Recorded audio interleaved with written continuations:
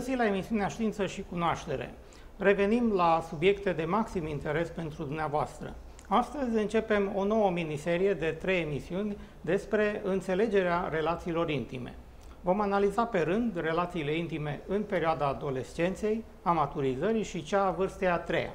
Vom face aceasta cu ajutorul invitatului special, domnul profesor dr. Daniel David, șeful Catedrei de Psihologie Clinică și Psihoterapie, prorector al Universității Babeș-Bolyai, căruia îi spun cu multă bucurie și entuziasm, bun regăsit la Știință și Cunoaștere. Mulțumesc pentru invitație. Pentru că suntem la partea întâi, cum obișnuim noi de obicei, atunci când intrăm într-un subiect, să încercăm mai întâi să facem o definiție, o punere uh-huh. în temă a ce înseamnă o relație intimă. Da, în primul rând trebuie să fie foarte clar pentru cei care se uită la noi că noi vorbim despre acele relații interpersonale care uh, au loc în cuplu și în care există ca potențial și uh, o legătură sexuală.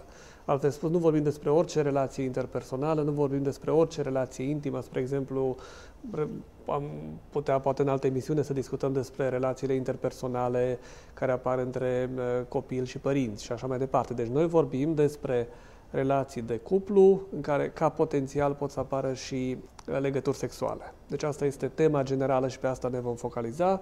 Și de asemenea ați spus foarte bine că vom încerca să acoperim oarecum cele trei mari grupe de vârstă, perioada adolescenței, perioada maturității și vârsta a treia, deoarece oarecum aceste relații capătă forme specifice și au mecanisme specifice în funcție de aceste uh, trei mari categorii de vârstă. Mecanismul psihologic al îndrăgostirii și substanțele biochimice implicate în activitatea cerebrală, ca să avem și un prolog așa da, despre... Da, da. Sigur, uh, tema e complicată, am putea vorbi despre acest subiect probabil, nu știu, 10-20 de emisiuni. Uh, voi încerca însă să prezint un cadru general ca uh, cei care se uită la noi să înțeleagă după aceea aspectele specifice pe care le vom discuta uh, pe parcursul emisiunii.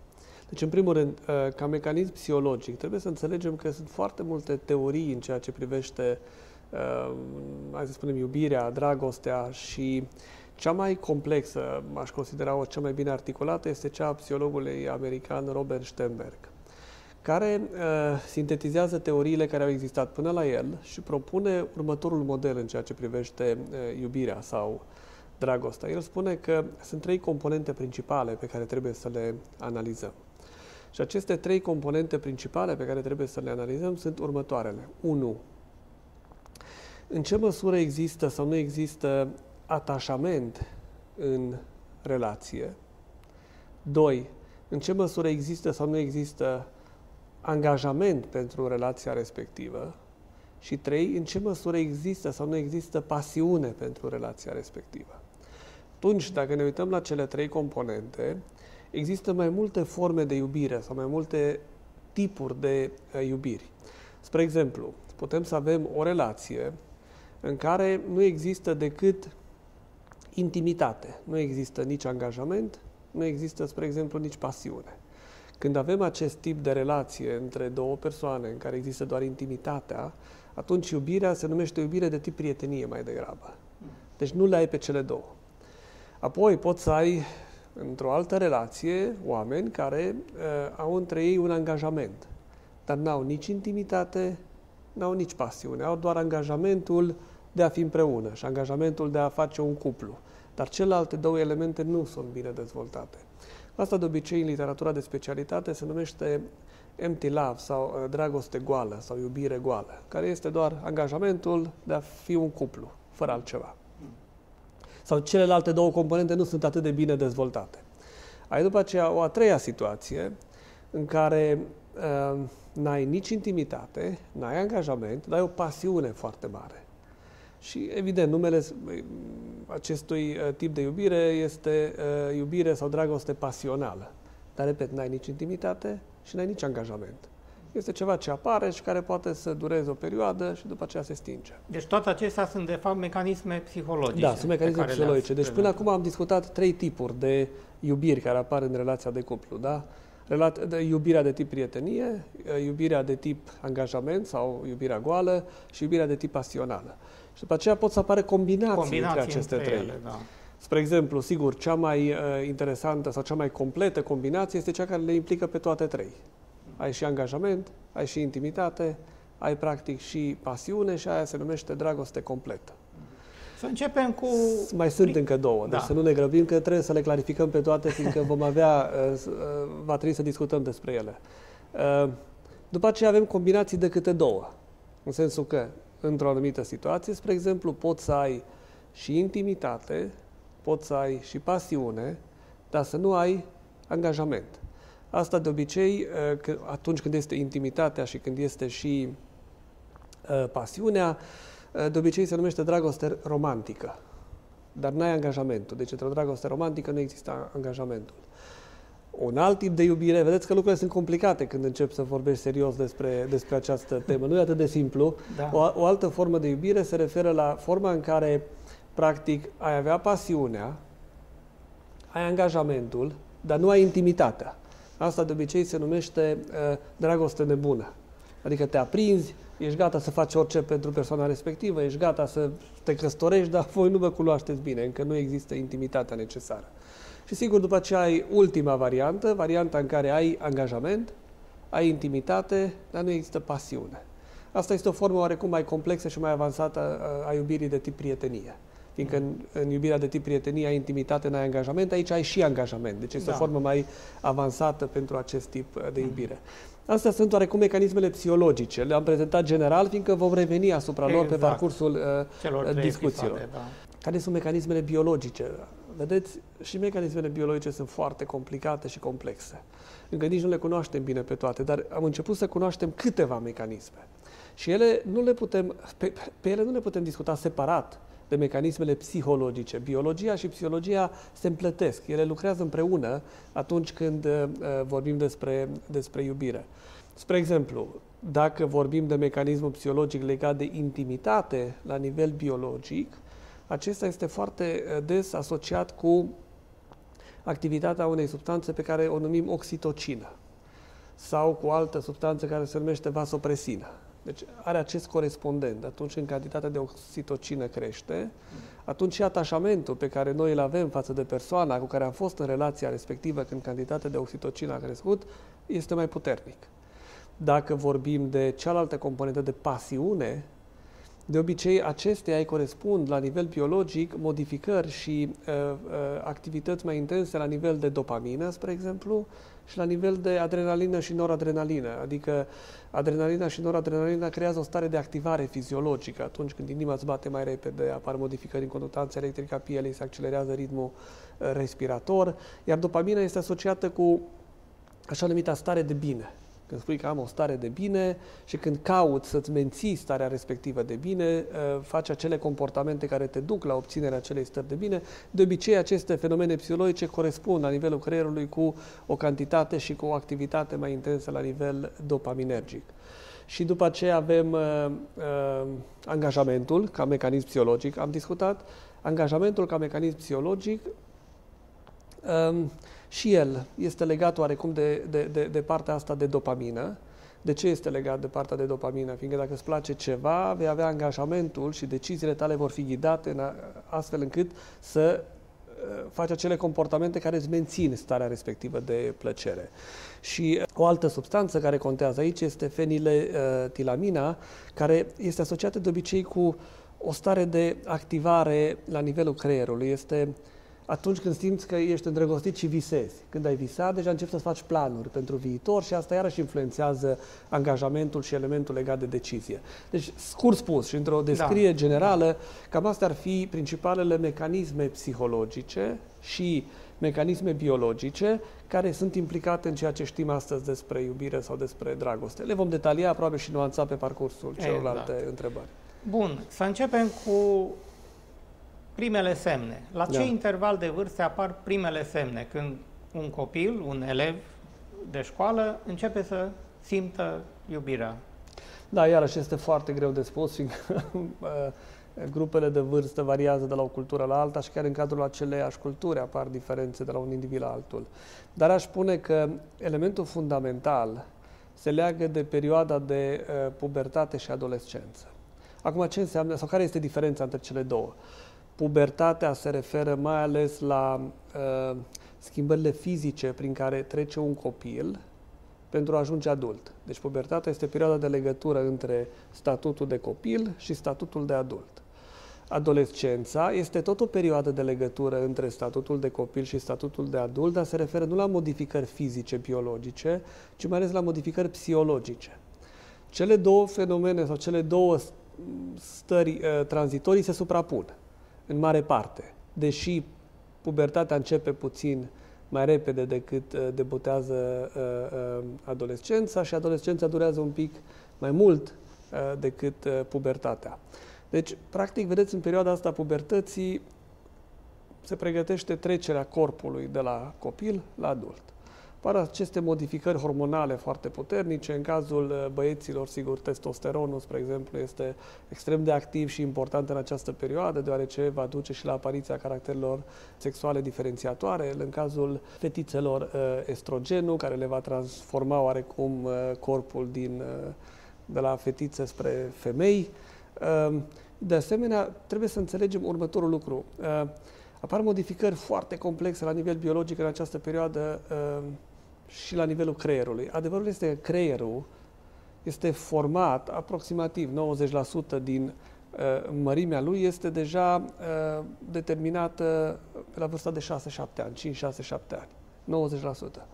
Dar și în această perioadă de, de, de pubertate sunt niște modificări foarte complexe la nivelul creierului, iar aceste modificări complexe n-au legătură cu creșterea uh, masei creierului, ci cu modificări mai degrabă funcționale și structurale la nivel de creier. Spre exemplu, în această perioadă vom asista la o scădere a cantității de substanță cenușie și o creștere a cantității de substanță albă. Sigur, cei care știu oarecum câte ceva despre aceste substanțe s-ar putea uh, mira, deoarece practic substanța neagră se referă la corpul neuronilor și la, uh, mă, mă rog, la zona care se ocupă cu transmiterea impulsurilor electrice în creier în primul rând. Dar, uh, de fapt, lucrurile stau în felul următor. În această perioadă, creierul renunță la anumite legături neuronale, la anumite uh, conexiuni între neuroni, care nu îl ajută în realizarea sarcinilor. Altfel spus, deși se reduce cantitatea de substanță neagră, practic creierul devine mai eficient. Sigur că reducându-se această cantitate, unii autori vorbesc de faptul că deja din această perioadă nu mai putem învăța atât de ușor și atât de complex cât o făceam copil fiind. Gândiți-vă, copiii învață limba comunității în care s-au născut destul de ușor, fără să le predea nimeni nimic, pur da, și simplu dar oprind. Acum, ca da. să urmăm desfășurătorul da. logic al uh, celor trei episoade, cum ar putea cei tineri care se află la primele lor experiențe induse de activitatea hormonală să interpreteze corect situația și să înțeleagă fenomenul. Păi asta vreau să vă, să vă spun. Și, deci, da, era întrebarea da, a patra, da. da. Și uh, exact uh, despre aceasta... Bun, dar asta se lega de ce vă spuneam înainte, fiindcă mm. ca să înțeleagă lucrurile, întâi trebuie să înțelegem ce se întâmplă în creierul lor. Și asta încercam să vă spun, că apar aceste modificări extrem de importante și uh, ce au acești tineri în perioada de preadolescență și adolescență se referă tocmai la faptul că la nivelul creierului partea lor prefrontală nu este încă bine dezvoltată. Partea prefrontală din creier se referă tocmai la controlul emoțiilor și, și comportamentelor. Și nefiind foarte bine dezvoltată, astfel de persoane, practic atunci când au aceste modificări hormonale foarte, foarte puternice, ei nu reușesc să-și controleze nici impulsurile, nici emoțiile pe măsura schimbărilor care au loc în corpul lor. Și asta e o problemă, pentru că ei au de învățat de teze extemporale. Nu numai, că noi vorbim de relații lucruri, interpersonale examene. aici. Și Uh, în cazul relațiilor interpersonale, practic, uh, ei nu reușesc să-și controleze aceste lucruri, se simt atrași, încep să intre în relații interpersonale, se simt atrași de celelalte persoane, dar o fac, o fac într-o variantă foarte riscantă, fiindcă nu reușesc să-și controleze nici emoțiile și nici comportamentul. Ei au, ei au ajuns în această fază, au capacitatea logică a adulților. Ei deja sunt în faza operațiilor formale, pot gândi exact ca un adult, numai că controlul emoțional și controlul comportamental nu funcționează. De aceea o să-i vedeți pe adolescenți că sunt niște oameni care pot face planuri ca un adult și deja deci își fac un plan, sunt foarte sensibili la critică, sunt foarte sensibili la recompensă, caută emoțiile pozitive, dar în același timp nu sunt capabili să-și controleze foarte bine implementarea planului. Și asta este, dacă vreți, imaginea prototip a adolescentului care îl pune la risc, mai ales când intră în diverse relații inter, interpersonale. Ce anume face să apară brusc, într-un anumit moment al adolescenței, primii fiori ai unor sentimente pe care el sau ea le simte atunci pentru prima dată în viață? Este percepția vizuală? Este percepția o altă formă senzorială de interacțiune? Ce anume? Nu, aici nu, nu putem spune că contează o anumită formă senzorială. Sigur că, v-am spus, starea de activare fiziologică, de obicei fiind destul de puternică în această perioadă, schimbările hormonale fiind extrem de puternice, de obicei uh, tipul de iubire sau tipul de dragoste pe care o dezvoltă în perioada adolescenței este una mai degrabă pasională, prima variantă. Deci, dacă erai copil fiind și în primele etape ale adolescenței ne-am putea gândi că ar uh, predomină uh, iubirea aceea de tip prietenie de care discutam. Aici, de obicei, din cauza acestei vâltori și activări uh, uh, fiziologice, de, uh, componenta pasională este, este extrem de puternică. Componentă pasională care, sigur, Aici uh, părinții trebuie să fie foarte atenți în această perioadă. De ce trebuie să fie foarte atenți? Dacă pasiunea este foarte mare, s-ar putea ca de la pasiune să ajungi foarte ușor la relații sexuale. Dacă ai ajuns la relații sexuale, s-ar putea să se dezvolte și componenta de atașament și intimitate. Vorbeam chiar la început emisiunii despre rolul oxitocinei. Și atunci, când ai cele două componente, s-ar putea ca ei să-și dezvolte și angajamentul și te trezești că dorește să se căsătorească la o vârstă foarte fragedă, când încă nu este pe deplin uh, format sau formată ca adult, și asistăm după aceea la sarcini eh, precoce și la alte probleme. Exact. Ce se întâmplă cu acei tineri, asta e o altă problemă, care doar simt nevoia de a avea o relație de afecțiune sau intimă, dar nu reușesc să-și atingă acest obiectiv? Și care ar fi cauzele? Mă rog, cauzele pot să fie multe. Pot să fie faptul că nu au abilitățile sociale adecvate, faptul că nu au oportunități în mediul în care se află, faptul că, de exemplu, cineva este izolat, lucrează, nu știu, trăiește într-un sat de munte unde nu are băieți și fete de vârsta, de vârsta uh, lor. Sigur că sunt probleme de acest tip. Uh, dar uh, de foarte multe ori, sigur, lipsește ce? Lipsește experiența și lipsesc cunoștințele necesare. Fiindcă v-am spus, adolescenții sunt capabili să gândească, au operațiile mentale similare cu cele ale adultului. Dar în cadrul operațiilor n-au conținutul adecvat, n-au experiență, adică degeaba își pot să calculez și să fac planuri dacă n-am conținutul cu care să fac aceste, aceste planuri.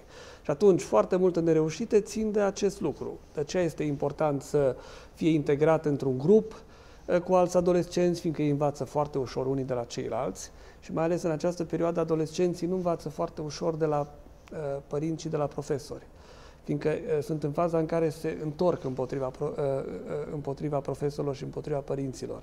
Atunci, cei de la care ei ascultă și spre care se orientează ca să-și ia aceste conținuturi, ca să poată să-și facă planuri privind viața lor, cariera lor, relațiile interpersonale, sunt de obicei alți adolescenți sau modele sociale. De obicei, nu știu, actori faimoși, cântăreți faimoși și așa mai departe. Părinții nu mai reprezintă în această fază uh, uh, un cadru de referință. Sigur, asta nu înseamnă că părintele nu trebuie să fie un cadru de referință, numai că și el trebuie să se schimbe. El nu mai poate discuta cu adolescentul, așa cum discuta uh, cu, cu persoana respectivă, uh, copil fiind. Și foarte mulți părinți nu înțeleg lucrul ăsta și de aceea apar probleme în această uh, perioadă și între părinți și adolescenți. Dar există și un anumit gen de emoții pe care unii tineri, dacă le manifestă, culmea îi inhibă ca să poată să vorbească cu persoana de sex opus, să încerce să o abordeze și...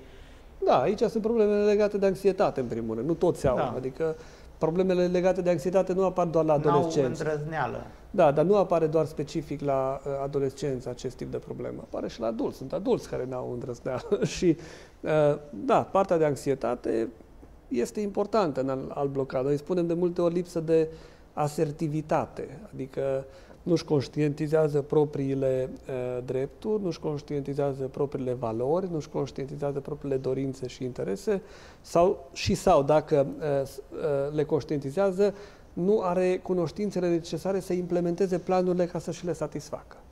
Și atunci, da, partea asta de anxietate. Deci, sigur, anxietatea este un fenomen clinic care poate afecta aceste relații, dincolo, cum, am, de, cum spuneam înainte, uh, lipsa aceasta de cunoaștere sau lipsa aceasta de cunoștințe, de experiență, practic, în astfel de uh, situații. Dar, cum să spun, toți adolescenții sau foarte mulți trec prin aceste situații. Că ăsta e scopul, să învețe de multe ori prin modelare, încercare și eroare. Dar nu trebuie să-i lăsăm să descopere chiar totul.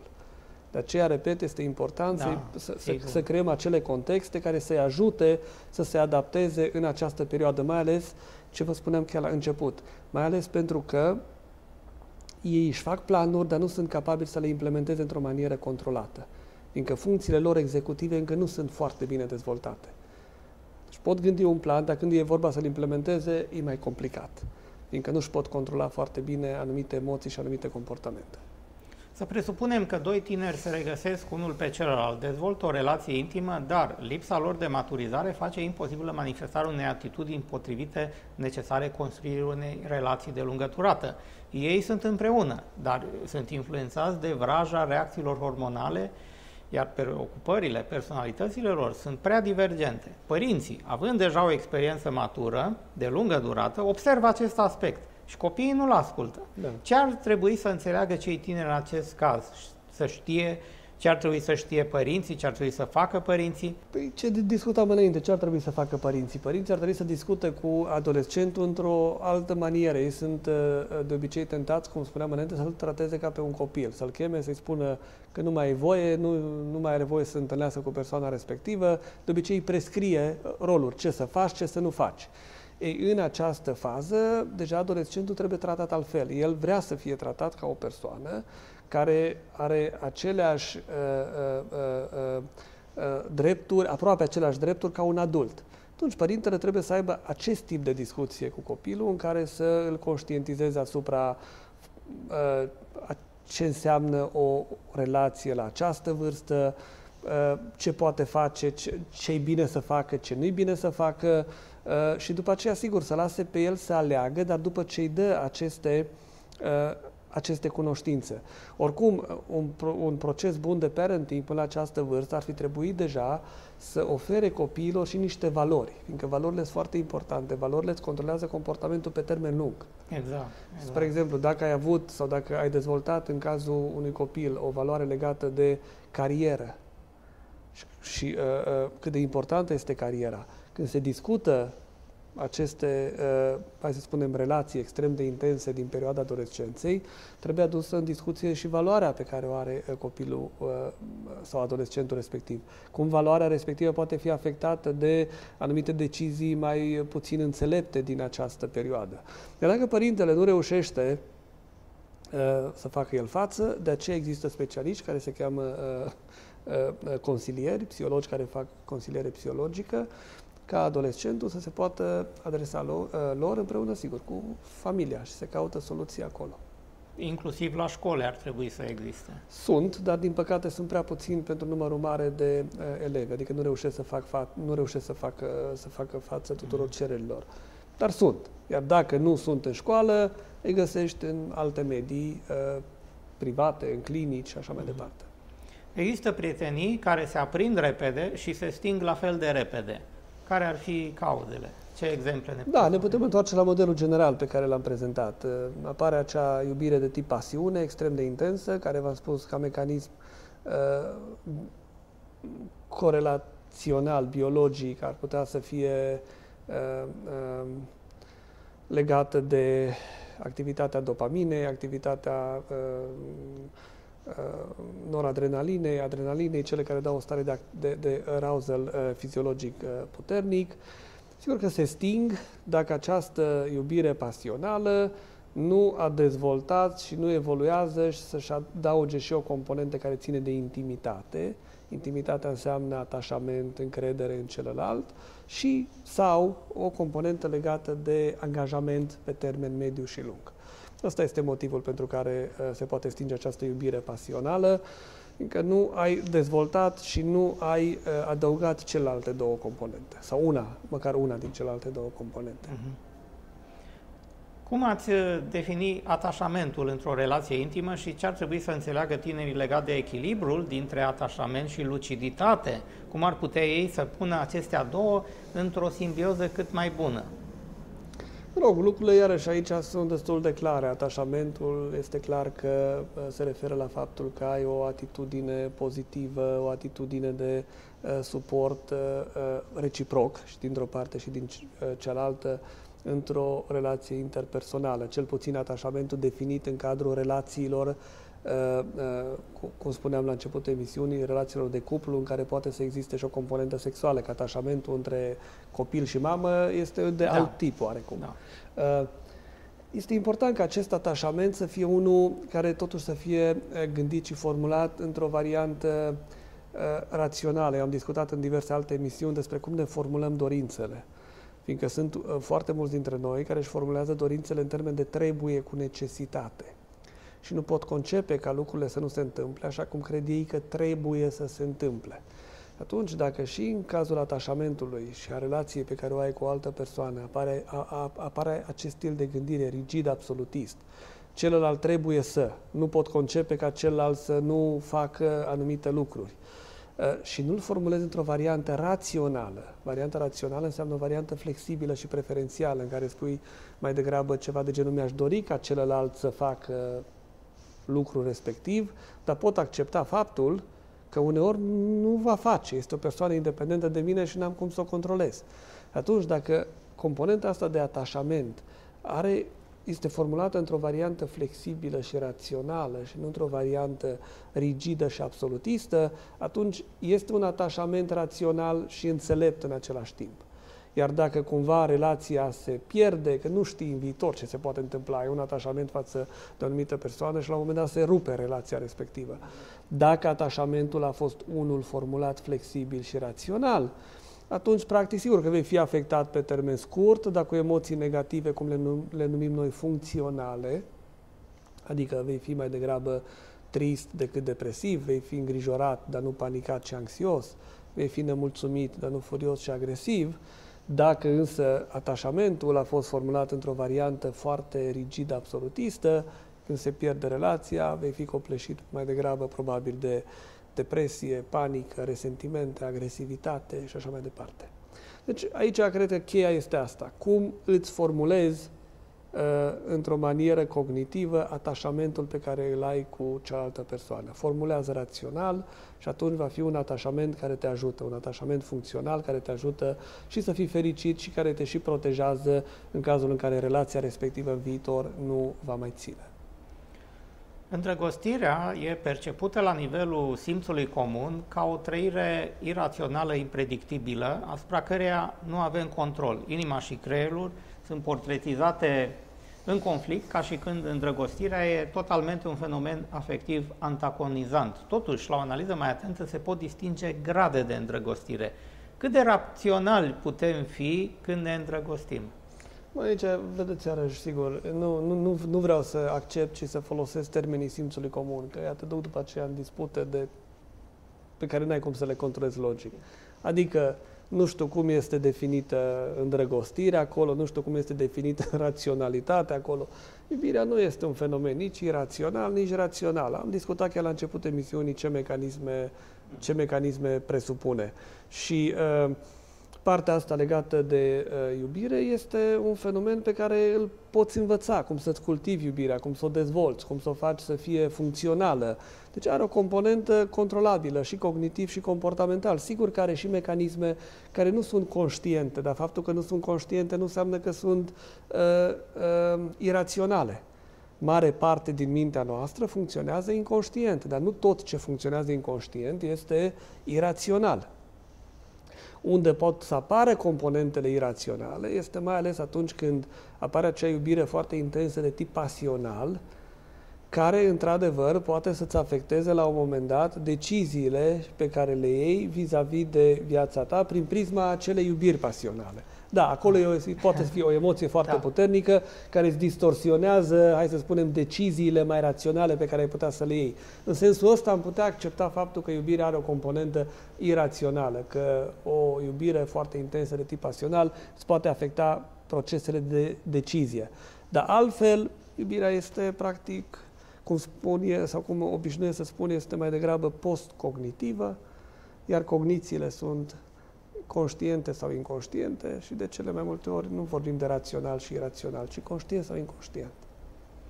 Îndrăgostirea apare împreună cu o serie de așteptări și proiecții. Cum acționează mecanismul proiecției psihologice în perioada îndrăgostirii și cum îl putem conștientiza din postura de îndrăgostit? Da, apare, uh, practic, de foarte multe ori uh, apar aceste proiecții pe care le faci, cum crezi tu că ar trebui să fie relația cu cealaltă persoană. Și ai această proiecție, cum crezi că ar trebui să fie. Hai să spunem modelul ideal. Și atunci când întâlnești o persoană care se apropie de acest model ideal, foarte mulți tind să nu mai vadă diferența între cum este persoana respectivă și cum este modelul ideal, mai ales dacă sunt destul de apropiate. Și le combină, le pun împreună și spun că persoana asta corespunde exact modelul ideal pe care eu îl am. Numai că după ce trece pasiunea, trece încărcătura sau iubirea pasională și uh, începi să vezi lucrurile într-o manieră mai rațională, încep să vezi că, de fapt, realitatea este diferită de modelul ideal pe care l-ai proiectat. Și în această situație poți să mergi pe două căi. Să fii extrem de dezamăgit și fiind extrem de dezamăgit, practic, să pui la risc relația, să se rupă relația respectivă, sau poți să fii mai înțelept, să-ți dai seama că ai exagerat în prima etapă, că totul a fost colorat de emoția pozitivă pe care ai experiențiat-o și să te gândești în ce măsură, vorbind realist, persoana este cu care ești într-o relație corespunde valorilor, intereselor pe care tu le ai, puteți dezvolta împreună elemente legate de intimitate, de angajament pe termen lung sau nu. Și vedeți, asta este un moment crucial în care foarte multe cupluri uh, se despart. Atunci când coloratura trece și vezi că, de fapt, realitatea nu corespunde cu idealul pe care tu l-ai, tu l-ai proiectat. De fapt, așa spune și în modelul pe care vi l-am descris chiar la început emisiunii, așa spune și Robert Stenberg, spune că uh, când vorbeam despre acele tipuri de iubiri, da? uh, problemele pot să apară în, când apare discrepanța între cum ai fi vrut, cum ai fi așteptat tu relația ta, adică fiecare se gândește, bun, mi-ar plăcea să am o relație caracterizată de toate cele trei elemente, intimitate, pasiune și angajament. Bun, dar în realitate nu ai așa ceva. Ai ceva care se caracterizează numai de două componente, spunem, intimitate și pasiune, dar nu este angajament. Și atunci ce faci? Continui relația respectivă sau nu? Și asta este iarăși un element de decizie în care trebuie să calculezi costurile și beneficiile, să vezi ce se întâmplă. Dar poți face lucrul ăsta numai dacă înțelegi aceste mecanisme. Vedeți, de aceea este important că avem și această emisiune, Încă oamenii la nivelul simțului comun de multe ori nu înțeleg aceste mecanisme. Cum a spus, cum a spus foarte bine înainte, cred că iubirea e ceva așa care vine de undeva, într-o manieră impredictibilă, irațională, te domină, te... Bun. Nu e chiar așa, că dacă înțelegi aceste mecanisme, mulți și-ar da seama că problemele pe care le au în relație cu persoana pe care o iubesc și pe care nu le înțeleg și care, mă rog, lor li se pare că aceste probleme, nu știu, reușesc să-i copleșească și așa mai departe, de fapt lucrurile vin dintr-o înțelegere clară. Există acolo o discrepanță mai degrabă între modelul de iubire pe care l-ai proiectat într-o variantă ideală și modelul de iubire în care ești. Și atunci, dacă înțelegi aceste mecanisme, poți să iei decizii într-un sens sau altul, într-o manieră mult mai rațională. Nu ești la dispoziția, hai să spunem, uh, complexului emoțional, ci tu controlezi complexul emoțional. Și vor fi foarte utile aceste explicații, mai ales pentru faptul că episoadele se vor regăsi pe YouTube și vor putea fi revizionate fiecare uh, din perspectiva grupei de vârstă în care se Corect. încadrează. Corect și să compare și totodată să observe ce mecanisme și ce fenomene se întâmplă în perioada maturizării, ce probleme și ce mecanisme există în perioada vârstei a treia. Și atunci e foarte util că avem această miniserie de trei episoade. Și aici, ca sfat practic, de exemplu, Aș spune tuturor care se află într-un cuplu să-și analizeze în acest moment uh, tipul de iubire în care se află, tipul de relație în care se află, mergând prin cele trei componente. Am spus pasiune, intimitate și angajament. Și să vadă ce au. Le au pe toate trei? Au două din ele? Au numai una? Dacă le au pe toate trei sau numai două din ele sau numai una, să se gândească asta este ceea ce vor, ceea ce au dorit. Dacă este ceea ce au dorit, este foarte bine. Dacă nu este ceea ce au dorit, vor trebui să se gândească ce fac. Ori renunță la ce și-au dorit, ori schimbă realitatea, astfel încât să potrivească ceea ce își doresc, fiindcă altfel, pe termen mediu și lung, vor fi nefericiți. Și de asemenea este foarte important să facă asta și împreună, cei doi care sunt în cuplu. Este important să o facă și separat, că uneori apar diferențe între cei doi. Am văzut multe cazuri și în uh, ședințele de consiliere sau de terapie pe care le fac când discut cu cei doi din cuplu separat și încerc să văd cum văd ei relația și ce tip de iubire cred ei că caracterizează relația, de multe ori lucrurile sunt complet diferite. Unii cred că unul din cuplu cred, crede că este intimitate în cuplu, altul spune că nu este intimitate. Unul spune că este angajament, el are angajament pentru această relație, dar partenera îmi spune că ea nu simte că este angajament. Deci, vedeți, apar diferite... au păreri diferite unul despre păreri, celălalt. Da, da, fie, deci fiecare are teoria și tipul lui de iubire uh, și crede că acel tip de iubire caracterizează relația. Și dacă apar aceste incongruențe, foarte probabil vor ajunge la conflict și la divorț. Deci, vedeți, trebuie analizate lucrurile astea într-o manieră uh, complexă. Dar, în același timp, deși maniera este complexă, procedurile sunt clare. Se pot face. Dacă nu le poți face singur, nu uitați, sunt specialiști care vă pot ajuta. Mhm. Așadar, îndrăgostirea apare pe baza unor semne și acele semne ne arată cum evoluează mai departe. Evoluează către o relație matură de cuplu sau nu. Cum putem anticipa sau înțelege dacă acele semne care apar în cazul unui cuplu conduc către o relație matură. Iar este foarte greu de definit relația matură. Înțelegeți că s-ar putea să fie doi oameni, spre exemplu, care s-ar mulțumi cu o iubire în care există doar nu știu, pasiune și angajament sau intimitate și angajament și nu este pasiune. Să nu, deci eu, eu nu vreau să spun că una dintre iubiri este unul, unul, dintr-un, unul dintre uh, uh, tipurile de iubire este superior altui tip. Depinde foarte mult de la, nu numai de la cultură la cultură, de la, de la cuplu la cuplu. Și sigur că în teorie lumea ar crede că uh, tipul de iubire care are toate cele trei componente este cel mai important. Bun, am putea să spunem că ne-ar plăcea să fie cel mai important, dar sunt foarte mulți oameni care trăiesc mulțumiți și fericiți fără să aibă toate cele trei componente. Mm-hmm. Au două sau doar unul. Depinde, depinde foarte mult de valorile pe care le au. Deci aici n-aș vrea să fiu prescriptiv. Să spun că așa trebuie făcut. nu, că psihologia nu e religie. Da? În religie ai niște dogme, spui așa trebuie să te comporți, așa este uh, corect. Bun, psihologia de fapt se uită la funcționalitate și dacă un cuplu este fericit și funcțional social, fără să aibă ceea ce se cheamă iubire completă, da, cu toate cele trei componente, psihologia nu spune că ar fi ceva rău acolo. De asemenea, nu credem că există o evoluție. Știți că mulți spun că de obicei încep cu toate cele trei componente, pasiune, intimitate și angajament, după aceea se pierde pe pe măsura anilor se pierde pasiunea, dar rămâne intimitatea și angajamentul, sau și dacă se pierde intimitatea, poate să rămână angajamentul. Nu, sunt multe situații în care lucrurile încep cu totul invers. Întâi există o căsătorie mai degrabă, să spunem, din interes. Este angajament numai. Nu este nici intimitate, nici pasiune. Dar s-ar putea ca pe parcursul anilor, pe lângă angajamentul inițial, să se dezvolte intimitate și poate chiar pasiune. Sigur că e mai mică probabilitatea, dar nu este imposibil. Deci să nu considerăm că există așa un mod corect de evoluție a iubirii și un mod prescriptiv. Nu. Până la urmă, elementul cheie este, este acesta. Foarte interesant. Cât de da. fericiți sunt oamenii în cuplu, și cât de funcțional sunt. Dacă se întâlnesc doi oameni, de exemplu, care, pentru care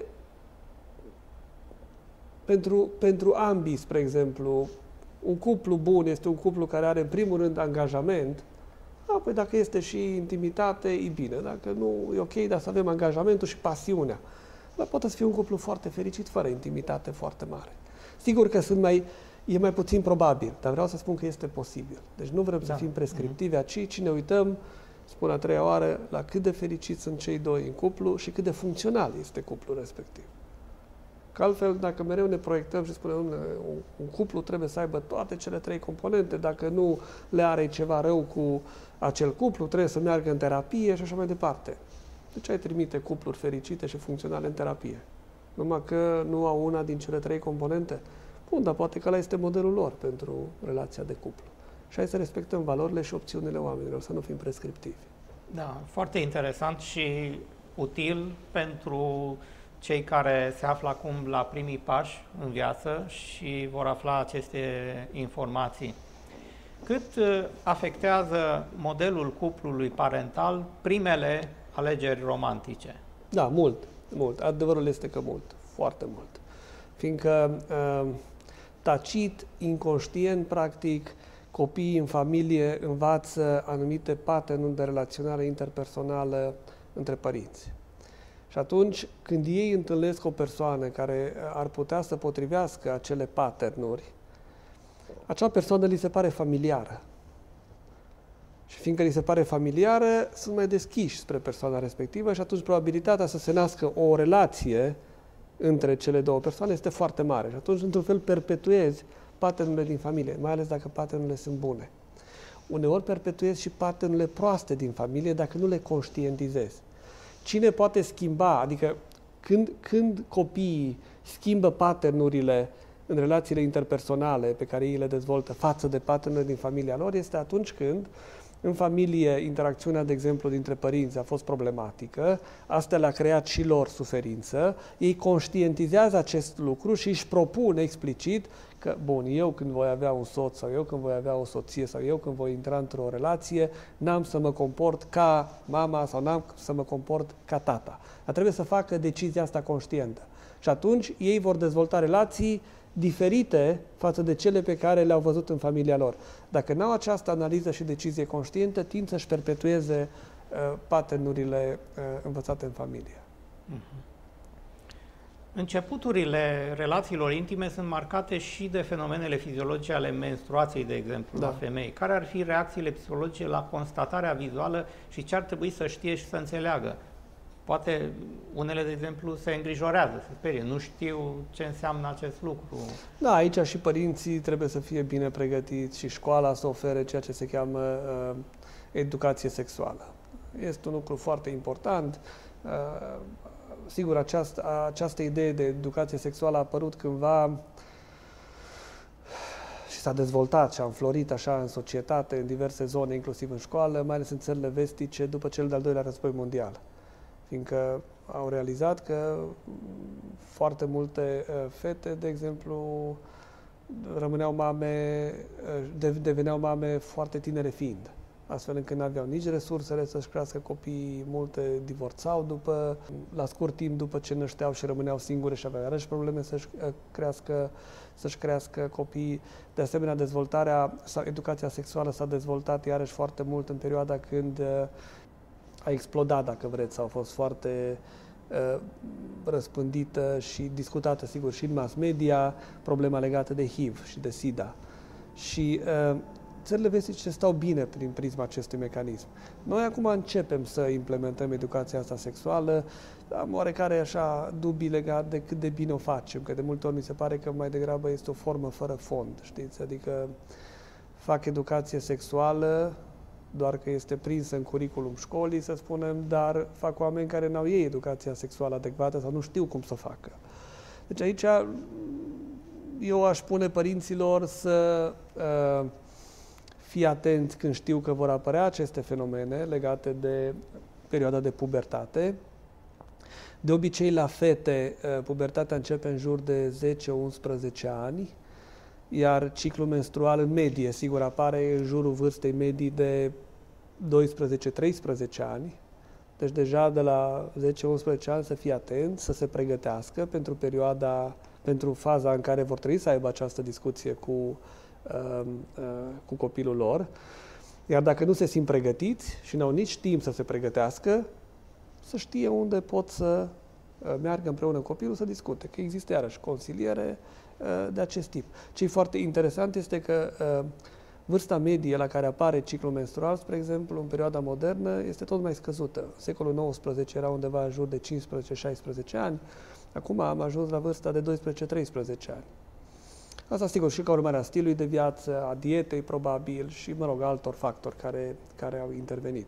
Dar trebuie să fim atenți, nu numai în cazul fetelor, și în cazul băieților. Iarăși, lumea de obicei se focalizează pe ciclul menstrual, că e așa o schimbare majoră, da, dar și în cazul băieților apar schimbări majore legate de uh, ejaculare, erecții, care apar tot în perioada asta, sau apar mai pregnante, așa, tot în perioada asta uh, uh, pubertății.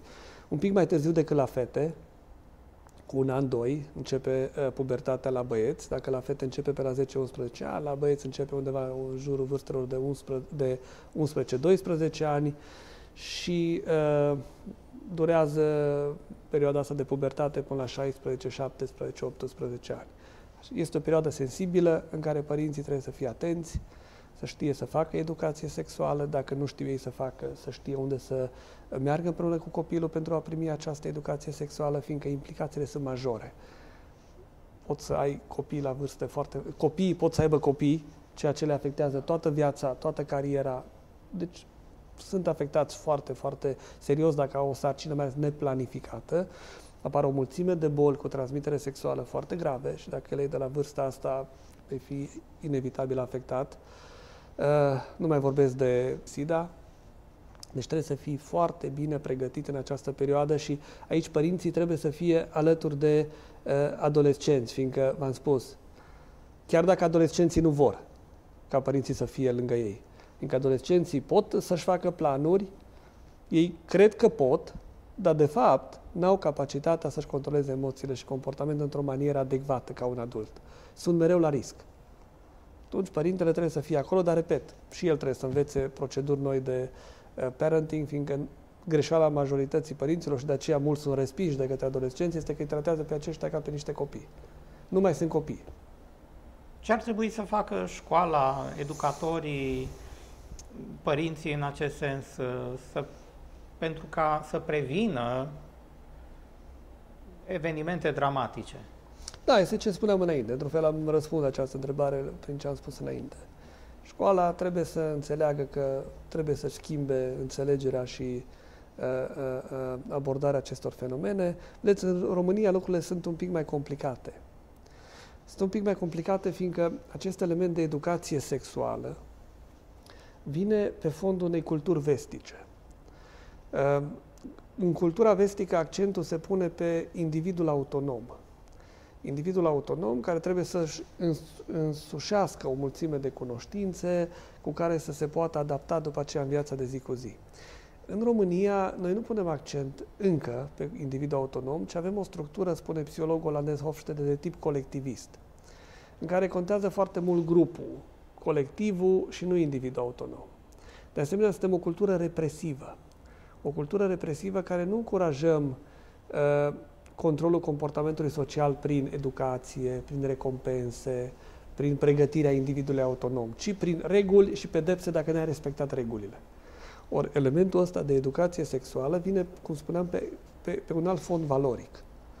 Și atunci am fost forțați, prin integrarea noastră în spațiul vestic, să asimilăm astfel de cursuri de educație sexuală, dar nu le știm face și nu le apreciem. Niște forme fără fond de cele mai multe ori.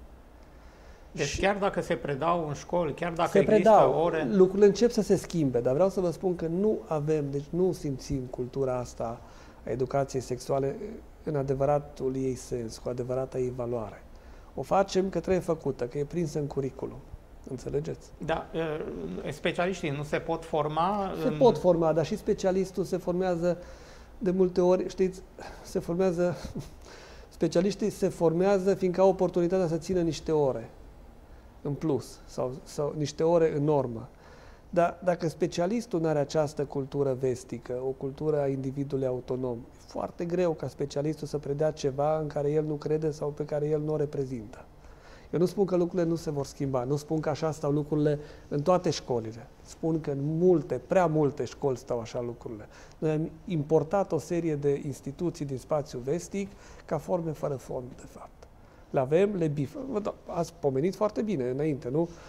Ați spus când am vorbit de consilierul uh, psihologii, mi-a spus că există în școli. Da, există, bifăm pe hârtie, dar când un consilier are câteva sute de elevi, e o formă fără fond, fiindcă el nu se poate ocupa practic de ei. Nu are cum să se ocupe și să facă ce a trebuit să facă cu elevii respectivi. Dar când suntem întrebați de diverse foruri europene, elevii au acces la consiliere în școli, noi spunem că da și arătăm că am angajat consilieri în școală, dar n-am angajat nici suficienți și poate nici nu facem cu ei formare continuă, să-i pregătim mereu în cele mai avansate tehnici și proceduri pentru a putea lucra eficient cu elevii. La fel se întâmplă și în acest caz cu educația sexuală. Cine face mult mai uh, uh, bine, cred eu, și uh, face foarte multe lucruri bune sunt uh, ONG-urile, care au diverse programe, susținute de diverse fonduri, Banca Mondială, fonduri europene și așa mai departe, și atunci reușesc să le facă mai bine. De ce? Deoarece în ONG-uri de obicei se adună oameni care au acest spirit civic, care corespunde mai degrabă cu spiritul vestic al individului autonom și atunci ei ce predau și reprezintă. Cred în ce predau, știu lucrurile respective și le și practică în viața lor. Altfel, de foarte multe ori în diverse școli, noi predăm un lucru, dar noi nu practicăm în viața noastră lucrul respectiv. Păi atunci cum? E ok așa. Adică noi îl învățăm pe altul ce să facă, dar noi nu facem lucrurile respective. Da, exact. Păi, poate soluția ar fi ca să realizeze un contract cu cei de la ONG-uri. Nu, care... soluția este, uh, lucrurile se schimbă, fiindcă și în școli încep să apară și să intre profesori tineri din noua generație, care au și ei un profil valoric oarecum diferit. Eu spun că suntem în fază de schimbare. Lucrurile merg, da. merg spre bine. În multe zone funcționează bine, în prea multe zone încă nu funcționează bine, dar și acolo este o tranziție în direcția bună și lucrurile o să arate bine, zic eu, în următorii, în următorii ani. Doar că să nu fim naivi să credem că dacă există un astfel de curs într-o școală, într-un curriculum, se și face într-o manieră adecvată. Asta încerc să spun. Mm. Stimate profesor Daniel David, vă mulțumesc foarte mult pentru aceste comentarii deosebit de utile, foarte interesante, care ne sunt tuturor de un real folos în viața noastră de zi cu zi. Data viitoare vom continua cu partea a doua despre înțelegerea relațiilor intime cu privire la perioada maturității. Fiți alături de noi data viitoare la o nouă întâlnire cu știință și cunoaștere.